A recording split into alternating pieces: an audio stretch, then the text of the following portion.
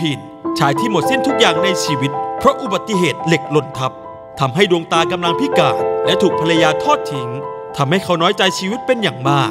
จนเขาต้องขอไปอบกอดพิธีกรของเรา เรื่องราวชีวิตของพี่พินจะเป็นอย่างไรต่อนนั้น ไปชมกันเลยครับเข้มแข็งนะพี่พินนะเข้มแข็งพี่ผินสู้นะเข้มแข็งนะคะผมรู้ว่ามันทรมานและเจ็บปวดนะ คือมันเจ็บปวดหลายหลายหลายอย่าง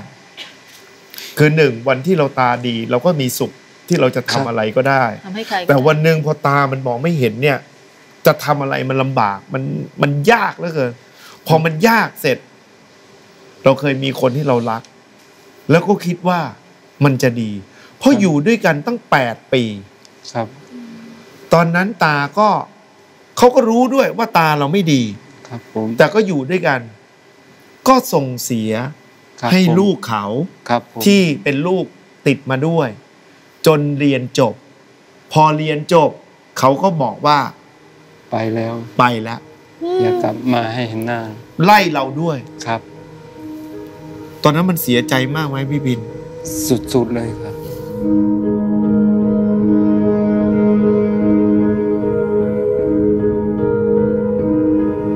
พอคนรักไปปุ๊บพี่พินก็เลยกลับไปหาแม่เลย ครับผม ก็เลยไม่คิดจะหาใหม่อีกแล้วจะ อยู่เพื่อแม่ครับ ครับวันนั้นก็ประวารณาตัวเลยว่า เราจะ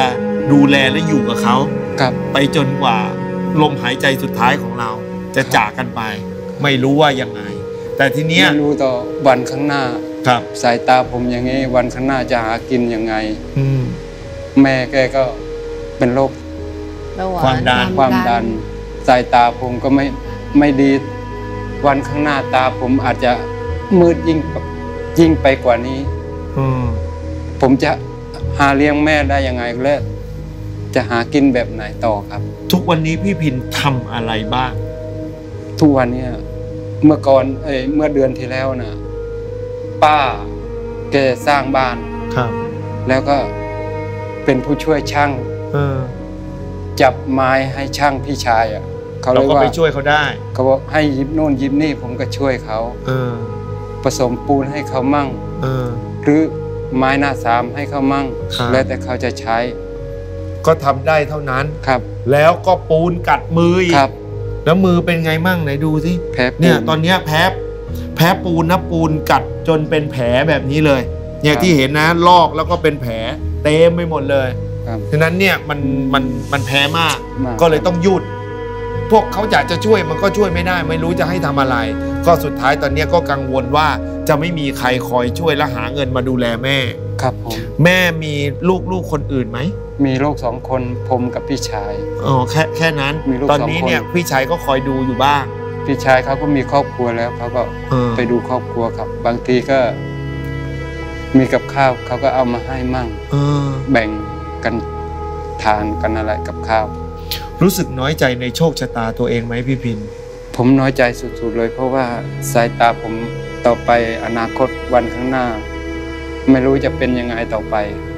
อืม ถ้าเกิดมันบอดถ้าขึ้นเกิมาดก็ไม่รู้ว่าจะดูแลแม่ยังไง ครับ ทุกวันนี้กลางวันยังเห็นเป็นเงา ยังพเป็อนเห็นเหมือนหมอบะเหมือนหมอกครับเออแต่ถ้าพอกลางคืนเริ่มเห็นสังเกตไหมพอมันเริ่มต้องพบไฟค่ำฉายต้องเอาไฟส่องกบอะช่วยในการ มอง ครับ ทีนี้ถ้ามันบอดขึ้นมาในระยะเวลาอันใกล้เนี้ย ครับ ก็ไม่รู้ว่าจะใช้ชีวิตยังไงครับผม เออพี่พินต้องครับ ดูแลตัวเอง และดูแลหัวใจตัวเองให้ดี อย่าหมดกำลังใจเพื่อจะได้ดูแลแม่ต่อไป เพราะวันนี้มาในรายการก็กลัวที่จะตาบอดก่อนก็เลยอยากหมดหนี้หมดหนี้เนี่ยหนี้ก้อนนี้มันเกิดจากอะไรพี่พินพี่ชายเขาเอา ที่นาสามไร่ไปจำนองครับ ประมาณสี่หมื่นกว่าบาทเออแล้วผมว่าจะถ้าได้ร้องเพลงใหม่หมดหนี่ได้แล้ว ผมจะไปถอนคืนสี่หมื่นกว่าบาท แม่เขาหนักใจเหรอ แม่เขาทุกข์ใจใช่ไหมเรื่องหนี้เนี่ยครับครับ แม่จ้าจ้าแม่ทุกข์ใจเรื่องหนี้เหรอ นอนไม่หลับ นอนไม่หลับเลยเนอะจ้าก็ถ้ามันหมดหนี้ได้ก็จะได้หลับได้สบายหน่อยใช่ไหมครับจ้าก็หวังว่าพี่พินนะจะมาร้องเพลงนะ ก็ต้องร้องเพลงให้ชนะนะ ถึงจะมีโอกาสนะครับนะครับพี่ผมพินครับผมพี่พินจะร้องคือเพลง พบรักที่ปากน้ำโพอ่าพบรักปากน้ำโพนะครับผมครับหนี่ก็เป็นหนี้อยู่สี่หมื่นนะ พี่พินนะครับ พบรักปากน้ำโพ ก่อนจะร้อง แม่อวยพรลูกหน่อยร้องเพลงให้เก่งๆนะร้องเพลงให้เก่งๆนะต้องสู้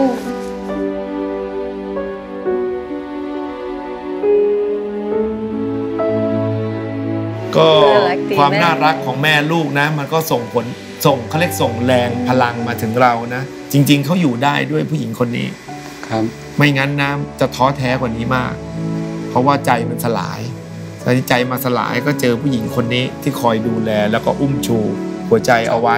นะครับครับเอาละพบรักปากน้ำโพวันนี้จะเป็นเช่นไร พร้อมไหมครับ พร้อมครับ ถ้าพร้อมแล้ว เชิญครับ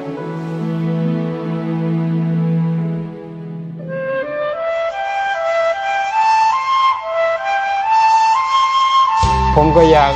มาชดใช้หนี้ให้แม่ครับ ขอให้แม่ได้อยู่สุขสบาย ผมก็พอใจแล้วครับ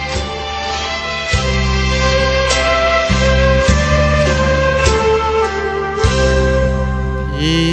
เป็นนุ่มลุ่มเจ้าพญาล่องเรือไปขายผ้าเดินทางมา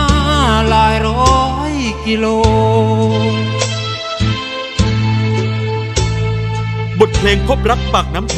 จะนำพาให้พี่พินได้เข้าไปค้นหาไม่หมดนี้ที่เป็นสิ่งสุดท้ายที่เขาจะสามารถทำเพื่อแม่ได้ ก่อนที่ดวงตาจะมืดบอด ความหวังของเขาจะเป็นจริงหรือไม่ ช่วงหน้าห้ามพลาดครับ